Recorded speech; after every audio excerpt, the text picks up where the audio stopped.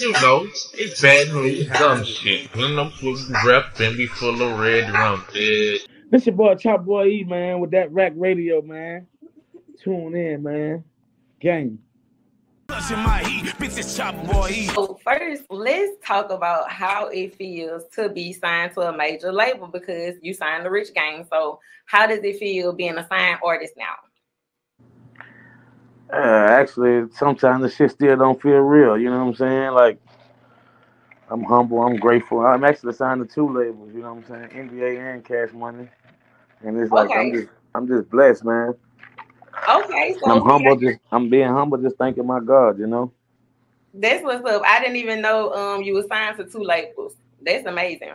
Yeah. So um let's talk about you and um Birdman relationship. Um, are y'all close? Yeah, that's my five. Like that's my nigga, man. I call him, text him, check on him. Yeah, like we got some shit in the making right now. We actually got another video that run for us. You know what I'm saying? But we got something actually bigger. That's finna really we finna fuck the fucking world up with this one. That's We about to fuck the world up. Like me and I'm about to fuck the world up. That's what's up. Um, have you met Lil Wayne yet? No, I no, I ain't never get a chance to um shout out to Weezer. I ain't never meet Weezer though. I fuck with Weezer though. Oh yeah, he hard hard. Ain't nobody fucking with Weezy. I swear. Right. He the hardest. But um, okay, so tell me how you met Young Boy. Well, uh, I was chilling on there with Big Dump. You know, I was in the hood. Me and Big Dump, you know, that nigga was like a father figure to me, aka Big Brother and Montana. You know what I'm saying? He was with us at the time, and he had brought Young Boy around. You know what I'm saying? Young Boy was rapping, and like, you know what I'm saying? I when they bring him around, I just knew like right then and now, you know, real recognized real. I've been rocking with him ever since. But I was in the hill with Big Dump, you know what I'm saying? And uh Montana, he was out there with us in like 2016, 15. Montana pulled up with Youngin, man. Youngin, you know what I'm saying? He jump out. Real recognized real. That been my little brother ever since. So you actually knew Dump before you knew NBA Young Boy. Right. Okay. Yeah. And so um, what was you and Dump's relationship like? My that, that nigga that was like my twin, you know what I'm saying? Like me and this nigga wear the same size shoes. Me and this nigga wear the same size pants, shirt. That was my dog. Like, and when he died, like it hurt it. You know what I'm saying? And he he, uh, Big Dump, irreplaceable. You know what I'm saying? Rest in peace, Big Dump. Rest in peace, Dump for sure, for sure. Um, so where were you when you got the phone call that um he had passed away? I actually was literally right where on the corner. I routed the corner my partner when I got the with the app from the news, the WAFB app that two was shot, you know what I'm saying, on there. We pulled up and the ambulance was just pulling off with him, you know what I'm saying? And yeah, I was in the hood when the shit happened. Okay, so you were actually around the corner when it happened. Right. Oh wow.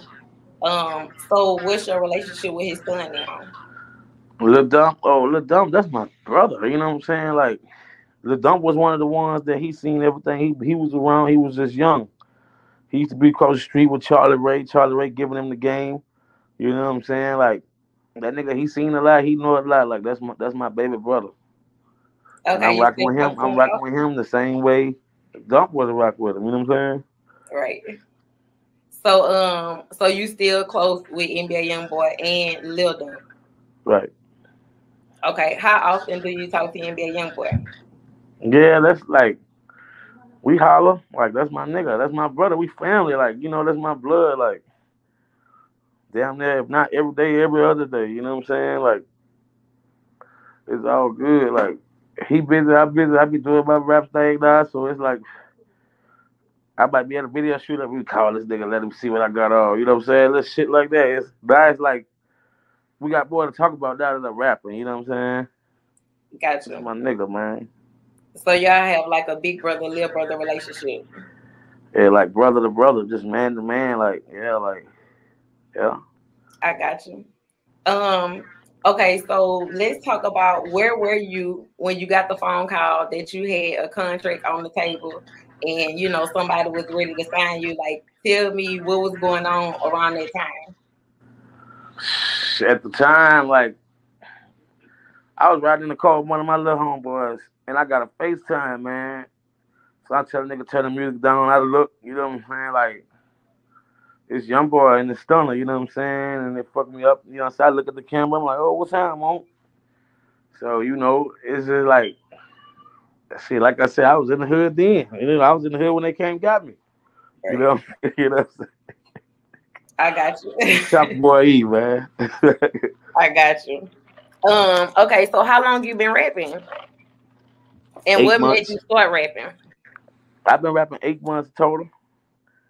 Eight months oh, total. Wow. I got eight eight video every month. I drop. I've been. I dropped the ICU eight months ago, and every month since then I dropped. I got eight videos out, eight months. You know what I'm saying? I'm just trying to stay consistent with it and trying to stay like, you know what I'm saying? Like, I'm on that neck, man. I ain't letting up. You know what I'm saying? I'm dropping. I ain't reading comments to see who like what or nothing. I'm dropping. That's what's up. Um, congratulations on that. That's a huge accomplishment. You only been rapping for eight months. That's rare that you see someone blow up so fast they actually have a major label come and sign them so early. Um, Appreciate it. I think. So that's a big accomplishment. Like, did you grow up with your mom and your dad, or how did that work? Yeah, I say it's crazy actually, cause like my grandma raised me. You know what I'm saying? And it's like I grew up believing that my grandma was my mama until. I got 10 years old. You know what I'm saying? She called me in the room like, man, I need to talk to you. I'm like, what's going on, man? She, uh, I'm, I'm your mama, but I'm not your mama. You know what I'm saying? I'm your grandma. Your mama died, you know, and that was my daughter. So it's oh, like, I, my grandma raised me. You know what I'm saying? Like I never met my real mama. My real mama died when I was three months. She never told nobody who my daddy was either. So like, I don't know my daddy either. Oh wow. Um, and how did your mom pass away? Natural causes, like heart failure. She was like, oh, she was sick. Well, my real mama, Mm-hmm. Car yeah, accident. She died when she was 19 in a car accident. They hit a pole on Airline Highway in front of Motel 6. Oh wow, sorry to hear Yeah. Um, so have you ever thought about trying to find your father? no. I mean, I, he should he should be trying to find me. I know, I know. Um, I want, but I mean, I wonder if he even know. You know. All right you know. So, but yeah, I just I just wanted to ask if maybe um. but I mean, I, I talked to God, so you know, I have found my father. You know, I got a father. I'm not missing no father or nothing like that. You know what I'm saying? I got a male role model in my life. That's what's up. That's what's up. You don't hear um a lot of young men say that. That's what's up. I'm glad that you can um, you know what I'm saying? Take that and and be strong off of it, and not be a victim of it. You know what I mean? Feel survive right. of it. That's yeah. good. Um, so and you had a brother that passed away, right? Right. Aaron, A Right, rest in peace, A Right, man. He was known around the city. Everybody knew him. He was a football legend, basketball legend. You know, he just got killed last year in, in Arkansas. That's my oh, nigga, wow. man. And how did you know. he pass away? Well, to be honest, I'm glad you asked me that, bro. When I signed my deal, bro, you know what I'm saying? Like two days later, when I sent my brother some bread, bro, his right hand man hated on him and hit him in the head, bro, with a four five. Shot my brother in the head, bro, his best friend, bro. Yeah. Dang. Out of jealousy and hate, uh, out of jealousy and hatred, you know what I'm saying? So it's like, bro, that nigga that he the reason why I do this shit. He, he the reason why I'm going hard. You know what I'm saying? Man, that's my nigga, bro. And it hurt. You know what I'm saying? Pain real. That's the mixtape. You know what I'm saying? With me, him, and my mama. I'm the last of my tribe. My whole family is gone. Like, you know what I'm saying? I'm the last of my tribe. I got a story to tell. Pain real, finna drop. I need everybody to go fuck with it. For sure, for sure. Um, so was your brother your mom's son or your grandmother's son? My brother was my grandmother's son. Okay. So my brother was really my uncle. Okay. My brother was really my uncle. That's the same age as me. We just three months apart my mama and his mama, which is my grandma, was pregnant at the same time. Wow. Yeah. Wow. now, yeah. do you ever feel um responsible for what happened because of your success? Do you feel like um do you ever feel responsible or do you feel like it was because you sent him money and you signed the contract or do you feel like it's just you know people gonna be jealous and it just was gonna happen regardless uh that that first i kind of used to feel like that like damn if i ain't seen it but then i had to realize and i thought about it and i prayed on it you know my god don't make no mistakes and this shit was already wrote you know what i'm saying that's the reason why he gave me the money so I can pay for his funeral because he knew my brother ain't had no life insurance. So that's how I look at it. You know what I'm saying? Everything happened for a reason. This shit is not no mistake. It's not. It's not. That's so good. And I was gonna tell you if you did feel responsible not to. You know what I mean? Because everything does happen for a reason. And um God has perfect timing. And right. it's one of those things where, you know, anything can happen to any one of us at any time. Um, if it wouldn't have been that time or for that reason, it just would have been in another way for another reason. So right. So yeah. Um because one so thing now, for sure, one thing for sure, and I'll tell all my brothers this. One thing for sure, two things for certain. It might not be today, it might not be tomorrow, next week, next year. We're gonna die. Everybody. You know what I'm saying? Ain't no oh not me. Yeah, your ass gonna die. So it's like that's a part I had to learn and that's a that's something in life. You know what I'm saying? Like it's the one thing we guaranteed. Yeah, like ain't no escaping that, ain't no ducking that. You know what I'm saying? Everybody that's that's that's something that's something and that's a part of life. That's the one thing that's guaranteed. That's the one thing you know that once you're living, that you have an expiration date. You know what I mean? Right. So. And when everybody start thinking like that, then people will get more accomplished. Mm-hmm. See, I know I'm not gonna be here forever, so now I'm working hard, doing shit for my family, man, doing shit for my kids. You know what I'm saying? Yes. Doing the right shit. Facts. A lot of people do need to think like that because it's better to prepare than trying to avoid the unavoidable. You know what I mean? Everybody walk around all day trying to avoid something from happening for them to them instead of just preparing. Getting ready for it. Right. You know right. what I mean? right. Um, Okay, so now it's just you and your surviving uncle, right? Right. Okay. Yeah, it's just me and my uncle, and he raised me. You know, he he was another like key role model in my life, father figure. You know, he's he's a coach at Mentorship High School. He went to Southern. He actually the first person in our family to go to college. You know what I'm saying? Okay. So it's like it's really just me and Uncle, and Uncle don't want for nothing. You know what I'm saying? That's what's up. That's what's up. Um, so tell me who was your favorite rapper like growing up? Like who is your favorite rapper of all time? Who you like get your inspiration from? I never really from the time that I was like three all the way until now, I never really gave nobody a chance but Biggie. I always been a Biggie fan, like you know what I'm saying. I always studied Biggie Stilo. I've been a big Biggie fan. That's he like my role model. Rest in peace, Biggie Smalls, man. Christopher Wallace, man. Right. Rest in peace to Biggie, man. So you a straight Biggie head. That's what's up. Baby, baby. yes, You but you put me in the mind of him, you know. You had that uh Biggie, you know, swag or whatever. Because Biggie and Rick Ross have a different swag. You know what I'm saying?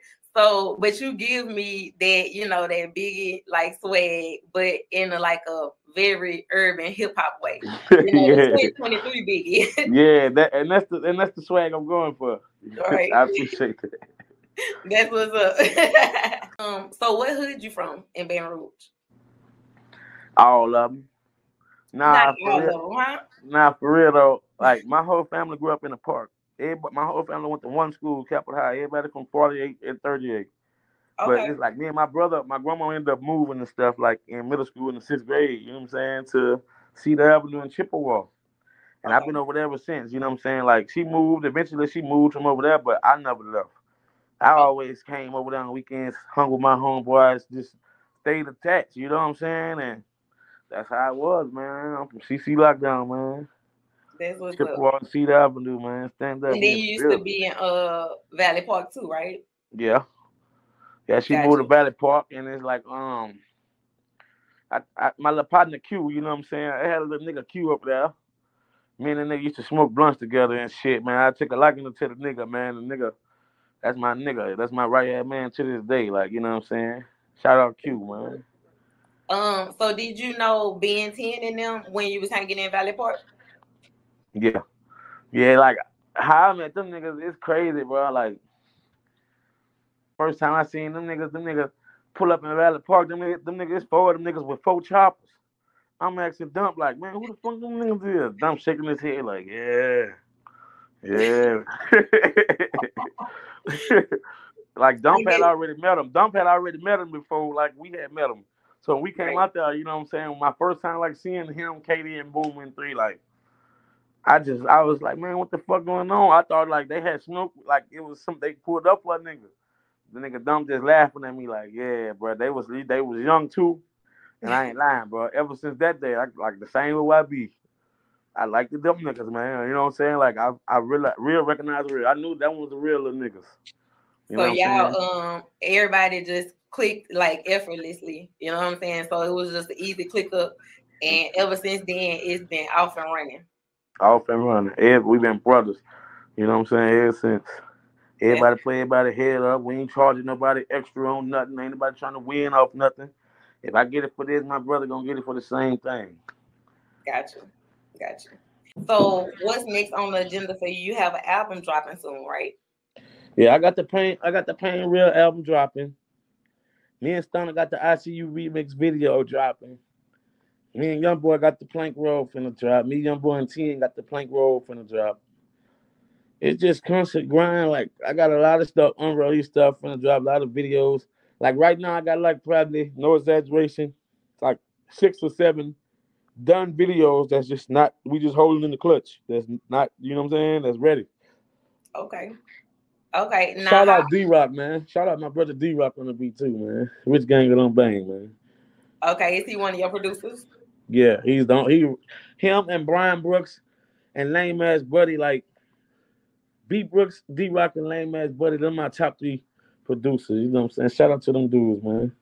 That's what's up. That's what's up. Um, so on your new album, it's just you, or do you have other people on your album? Like who you have featuring on the new album? Me. It's just me because I feel like it's my story. You know what I'm saying? It's my pain. I don't need another motherfucker to jump on the song with me and help me tell my pain. This my pain real. You know what I'm saying? That's my grandma and my blood brother on the, on the front of that tape.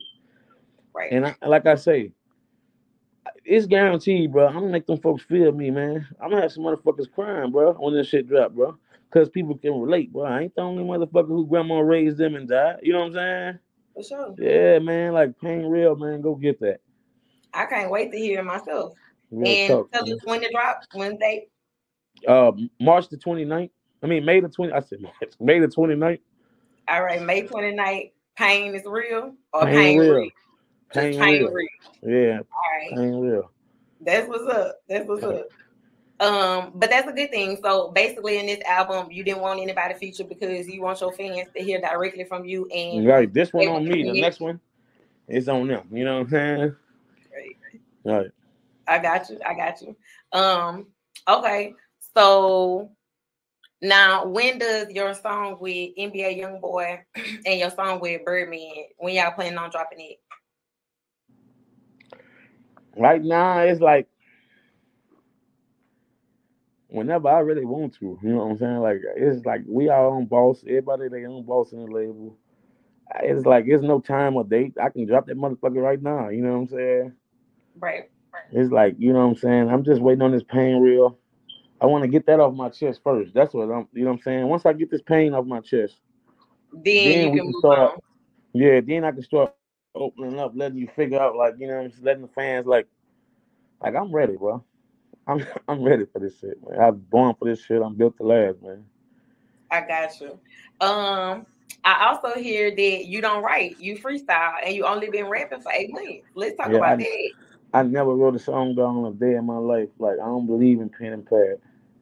When I go in there, I tell a man hit the beat and I do my thing. You know what I'm saying? Like, and I ain't making it like I'm just so oh, because uh, it ain't that. You know, I'm just punching in, but it's real. So it's like the flow just be so perfect when it's real and I ain't capping. Right. So it's like by the time I finish telling the real ass ep or a real ass story, the beat gone. They mix and match in that shit. On to the next beat. You know what I'm saying? Mm-hmm. No pen, no pad, man. Rest in peace, Lil Phat, man. Never use a pen again, man. Oh, okay. You said R.I.P. Lil Phat? Yeah. Okay, rest in peace, Lil Phat. I was gonna ask you, um, like, did you know him or I know he was like probably like you know one of them young niggas that a lot of other young niggas used to listen to like growing up. Like, um, did you have a personal relationship with him or you just know him through music? No, I just listening to his music, checking him out, hearing his story. You know what I'm saying? I ain't him, nah, I ain't know him or nothing like that. You know, I was just tuned into his music down here in Baton Rouge. He was older than me, you know. I ain't gotcha. never see him or nothing like that. Gotcha, gotcha. I met him a couple times. He was a cool young nigga. yeah. he was. Um, let's, how do you feel about YB and Fredo Bang finally squashing their beef? I don't right. feel no type of way about that. Moving on. All right. Um, do you move any different now that you're signed to a major label, being that you're still in Baton Rouge, or do you move the same? Is there anything that you just had to change because now you're a celebrity and you're getting used to being a celebrity? It's like, as far as the moving, it's like I've always moved good. That's the reason why, like, I'm still alive. I've never been shot or nothing like that. I've always moved good, but like as far as like now that I'm rapping, I'm busy. So it's like I gotta be in Miami, I gotta be in Houston, I gotta be in Baton Rouge, then I gotta be in New Orleans. All these four places that I be having to be like at least once a week, every week. You know what I'm saying? So it's really like I ain't really stable. You know what I'm saying? I'm ripping and running just on the grind, like just rap hustling. You know what I'm saying? Yeah. Treat my shit like my business. This is my business. You know what I'm saying? We state to state, locking in, collecting money. You know what I'm saying? And that's what it is. For sure, for sure.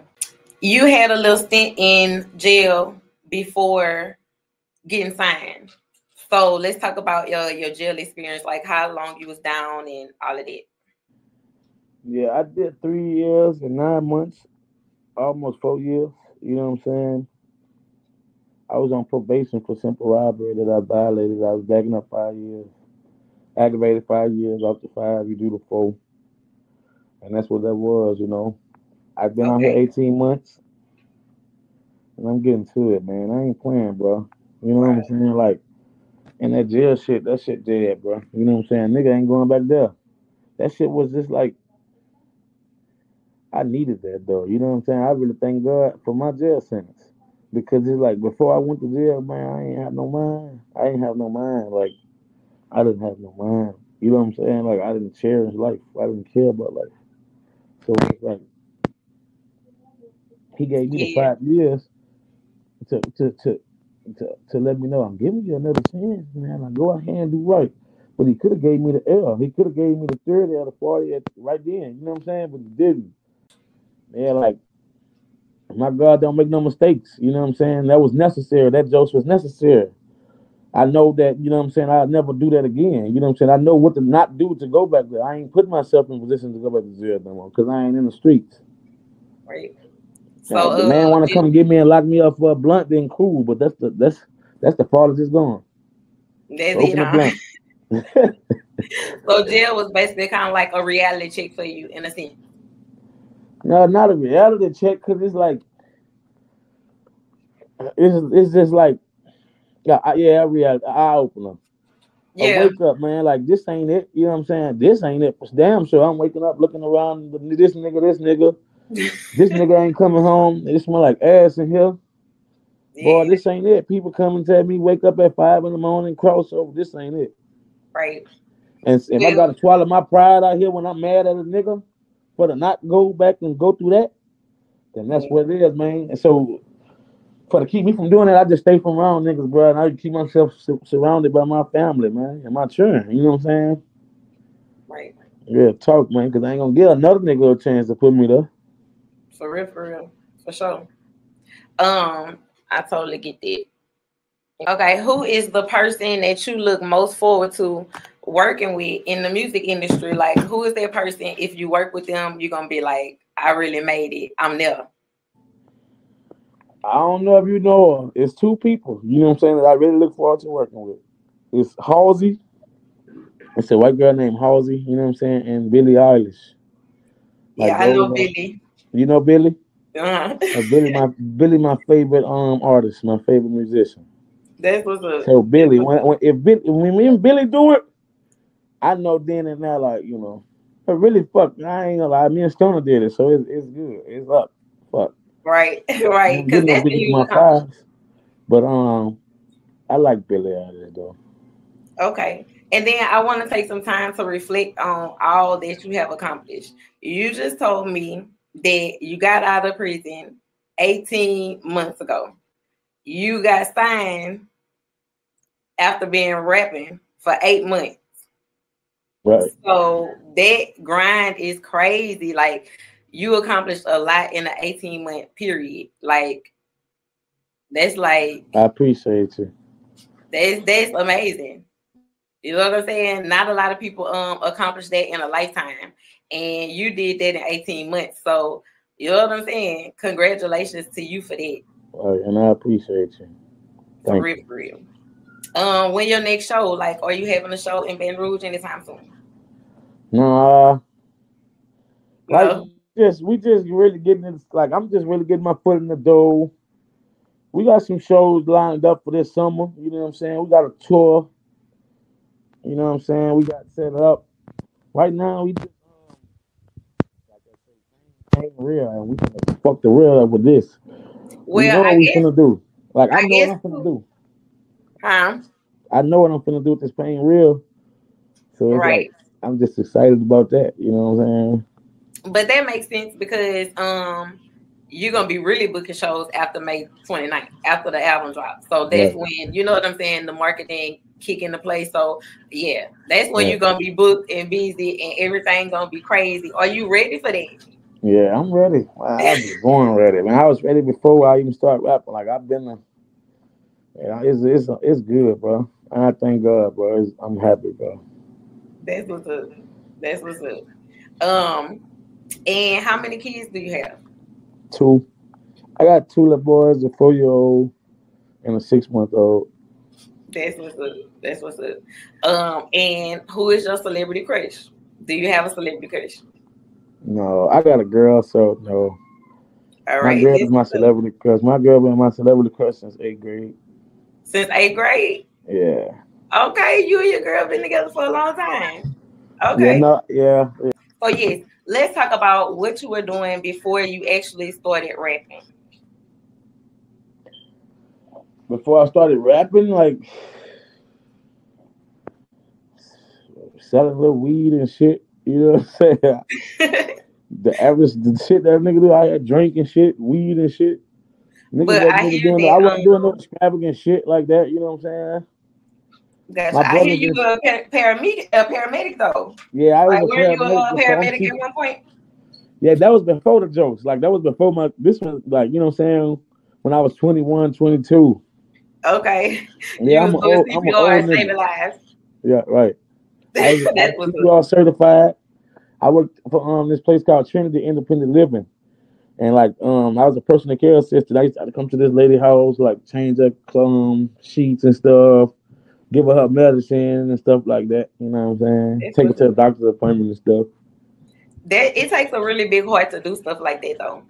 Yeah. It does. Like the average um person, they don't they heart ain't built like that for real. Right. Like I, I always worked in the mental health field and I know it just takes um a heart. And you know what I'm saying? You gotta have a genuine love for those type of people to enjoy what you do. So, you know, that's amazing. Yeah.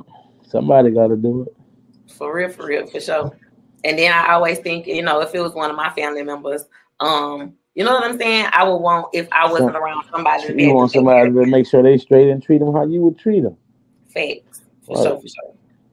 Um, but yeah, so okay, so tell me three things that would nobody guess about you, and then we can end it. I used to be a paramedic. That's one. Every every day I, I eat a one lemon. I eat one lemon at least a day for my skin, my face to not break out. And, Does it work? uh, What? Does it work? And my, my girl said I'm a crybaby. And you a crybaby. Oh man. So one, you used to be a paramedic. Right. Two, you eat a lemon every day for your skin. Right. And three, you cry baby. Yeah, I got a song called Cry Baby where I'm really crying on the song, like, like For really real? crying. That's crazy. Well, tell me this: Does the lemon work? Yes, it does. And you just eat it raw? Sour lemon, one lemon. That change your whole skin complexion, your whole the texture of your skin. Or you gonna have me around here eating lemons? I ain't gonna lie to you, I, I wouldn't make you do that, bro. Who who the fuck wants to eat a lemon? You know what I'm saying? like here's it. I'm gonna try it now. Now I'm Right, like I wouldn't be doing that shit if that shit really wasn't working. Like I be, I used to have bumps on my face and shit. Ever since I started doing that shit, I seen what his name, Dr. Sebi. He told us about the lemon. Man, I've been really doing that, man. I ain't got a bump in my shit. I'm listen. I'm on it. I'm about to try it. I'm gonna see. I'm gonna let you know if it works too. Yeah, if it don't work, I'm gonna be like, I would talk shit if it don't work. Top boy made me eat a raw lemon, man. you know it. I would be like, man, Chop Boy had me round the house eating lemons, mouth sour, trying to You gonna you gonna feel it like at, at- you gonna feel it instantly. Like after you eat, just chill. I say about an hour or two, you gonna feel that lemon like it's gonna feel like all the side around your mouth and shit is like you're gonna feel that shit burning and itching and it's gonna. I just can't explain it.